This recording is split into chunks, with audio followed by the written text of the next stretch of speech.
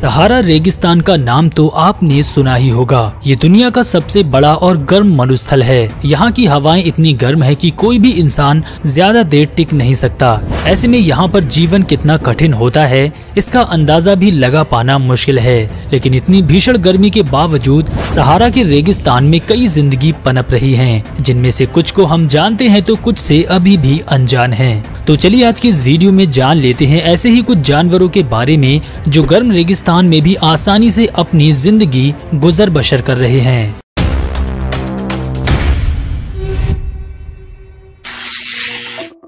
Number five, camel.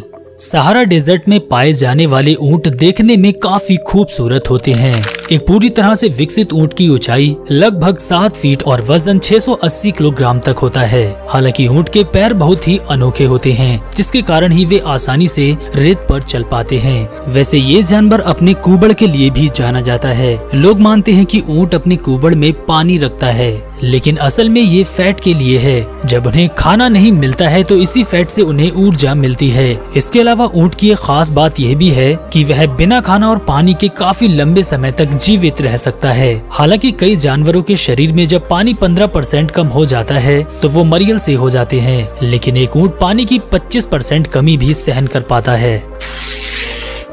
Number four, golden mole. दक्षिणी Africa के रेगिस्तान में पाए जाने वाले यह जीव चूहे समान दिखते हैं। यह भूरे रंग के होते हैं और इनका आकार लगभग 8 सेंटीमीटर से लेकर 20 सेंटीमीटर तक होता है। यह जीव रेत पर जितनी तेज दौड़ सकते हैं, उतनी ही स्पीड रेत के अंदर भी बरकरार रख सकते हैं। साथ ही रेगिस्तान की भीषण गर्मी से बचने के लिए इनके पास लंबे लंबे घने बाल होते हैं, जो कि इन्हें देखने में भी आकर्षित बनाते हैं। हालाँकि लंबे बाल होने के कारण इनके कान ढके रहते हैं, लेकिन फिर भी यह अपने शिकार की थोड़ी सी भी हलचल को दूर से परख लेते हैं। और तो और यह रेत के अंदर भी अपने शिकार को बड़ी आसानी से खोज लेते हैं। Number three death stalker scorpio death stalker scorpio दुनिया के सबसे जहरीले बिच्छुओं में से एक है। पीले रंग का यह बिच्छू काफ़ी खतरनाक होता है और ज़्यादातर रात में शिकार के लिए निकलता है। वैसे तो यह छोटे कीट पतंगे का ही शिकार करता है।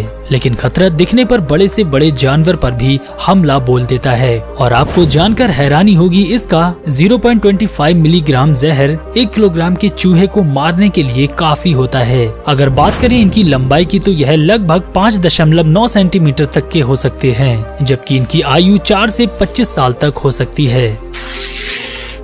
Number two, fennec fox.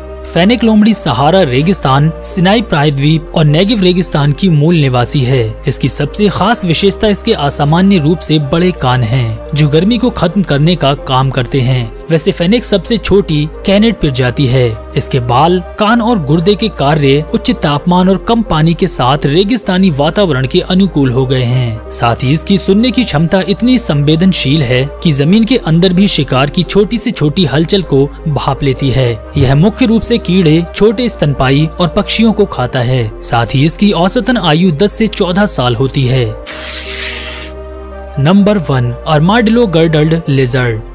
Armadillo girdled छिपकली, जिसे आमतौर पर वर्मी छिपकली या गोल्डन आर्मेडिलो छिपकली के रूप में भी जाना जाता है। यह प्रजाति दक्षिण अफ्रीका के पश्चिमी तट के रेगिस्तानी इलाकों में पाई जाती है। हालाँकि इस छिपकली में एक असामान्य एंटी प्रेडेटर अनुकूलन होता है, जिससे यह खतरा होने पर अपनी पूंछ को मुँह में दबाकर एक गेंद की तरह लुढ़कने लगती है। इस आकार में यह शिकारी जानवरों से आसानी से बच पाती है, क्योंकि इसकी पीठ और पूंछ पर मौजूद कांटों की लेयर इसकी रक्षा करती है। परंतु दुर्भाग्य की बात तो यह है, इनकी प्रजातियाँ अब खतरे में हैं, क्योंकि इन्हें पकड़कर पालतू जानवरों की तरह रखा जाने लगा है। तो दोस्तों, कैसी लगी आज की वीडियो कमेंट सेक्शन में हमें ज़रूर बताएँ। इसी तरह की और अमेजिंग वीडियोस के लिए आप हमारे चैनल वाइल्ड वर्ल्ड को अभी सब्सक्राइब करें।